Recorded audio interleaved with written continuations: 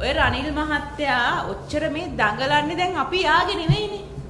අපි මේ වෙනම පක්ෂයක් හනම් පැත්තාවිල පාඩු ඉන්න දෙන්න කොහලෝ. මොකද මේ අපි දැන් පාඩුවේ අපේ වැඩේ කරගෙන ඔයාගේ පාඩුව ඔයාගේ වැඩේ කරගන්නකෝ. ඇයි මේ මේ එක එක තැන්වල මේ මේ දැන් අපි ඔයාගේ නෙවෙයිනේ. අප ඔයාගේ මිනිස්සුත් අපිත් එක්ක එක්ක අහුවෙලා ඔයාට අපි ගැන කිසි අයිතියක් නැහැ දැන් මේ ළඟදී අපි සියලු දෙනාම පක්ෂෙන් අයින් කරලා දිනවා ඒකත් ගැන සජිත් මහත්තයා අයින් කරන්නේ මොකක්ද තියෙන ඒත්තක් අඩිකමට මොකද මේ එළියට යවන්නුනේ පණිවිඩේ. ඔන්න සජිත් එක්ක හිටියොත් එහෙම සජිත් බේරනවා හැම වෙලාවෙම. උඹලා තමයි අමාරු වෙන්නේ කියලා ඕක කියවන්න ඕන කමනේ සජිත් මහත්තයාවත් අයින් කළා දාන්න. කිසි ප්‍රශ්නයක් නැහැ. එතුමත් ඕක ඇතුළේ රිංගගෙන ඉන්නේ නැහැ. අපි දැන් අයින් වෙලා වෙනම පක්ෂයක් හදාගෙන මේ ලස්සන ලකුණක් එක්ක ලස්සන පාටක් එක්ක ලස්සන නමක් එක්ක ලස්සන මිනිස්සු එක්ක පිරිසිදු මිනිස්සු එක්ක ගමනක් යද්දී ඔයාට මොකක්ද තියෙන රුදාව? රනිල් මහත්තයාට මොකක්ද තියෙනව රවීට මොකක්ද තියෙනව ඔය තියෙන පක්ෂ තුන් හතර දෙනාත් එක්ක කවලා ජොලියේ ඉන්නකෝ? අපිට වද දෙන්නේ නැතුව. මේ අපේ දේවල් වලට කම්ප්ලේන් කරන්නයි එක එක තැන් වලට ගිහිල්ලා ඔයාට අදාළ දෙයක් නෙවෙයිනේ දැන් මේ අනිත් එක මහින්ද මහත්තයා ගැටවට අහු වෙන්න බෑ රනිල් මහත්තයා කියන ලෝක කපටියෙක්. ඔයාගෙන් ওই ප්‍රයෝජනෙ අරගෙන ඔයාව හොඳ නටවල තියාගෙන ඔයාගේ ඔයාවත් අමාරුවේ දාන වැඩක් ඔය කරන්නේ. අනිත් එක මහින්ද මහත්තයා මේ අනුන්ගේ දේවල් වලට ඇඟිලි ගහලා ඉන්නවනේ අන්න මැදමුල්ලේ මිනිස්සුන්ට වතුර නෑලු බොන්න. තමුගේ ගමේ අවුරුදු කීයක් නම් ඒ ගමේ වැඩ හිටපු පරණම දේශපාලඥයා. ටොයිලට් යන්නත් නෑ. වතුර බොණ්ඩක් නෑ ඒ මිනිස්සුන්ට. අනේ ගිහලා ඒක ගිහින් බලන්න. මේ අනුන්ගේ කෙහෙන් මල් හොය හොය ගිහලා කම්ප්ලේන්ට් දාන එක නෙවෙයි.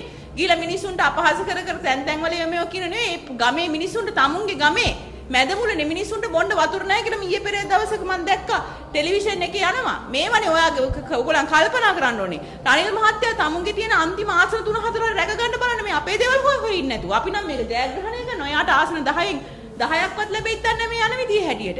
ඒක බලන්නේ නැතුව මේ සජිත් ප්‍රේමදාස මැතිතුමාව අත්තරංගුවට ගන්න ගන්න වැඩයි. අනිත් එක හොඳට මතක තියාගන්න මේ පරාජයෙන් විරු වැටලා තියෙන්නේ. ආරංචියක් තියෙනවා මේක සත්‍යයක් වෙයිද අසත්‍යයක් වෙයිද දන්නේ චන්ද්‍ර ඔන්න මෙන්න තියෙද්දි එකපාරට ඔය පොදු ජන පෙරමුණේ ලොක්කෙට්ට නිකන් එකපාරට අමාරු වෙලා හොස්පිටල් නවත්තලා රට බේරාගත්ත නායකයෝ දැන් හසනීපෙන් ඉන්නේ මේගොල්ලන් වෙනුවෙන් අපි ඡන්දයක් පාවිච්චි කරනවා වගේ අනුකම්පා සහගත මේ දෙයකට යන්න පුළුවන් අන්තිම මොහොතේ. ඒ වගේ දේවලුත් කරනවා. මොකද අන්තිමටම තුට්ටු දෙකට වැටලා තිනවා රනිල් මහත්තයාගේ උපදෙස් පිළිපදින්න එපා.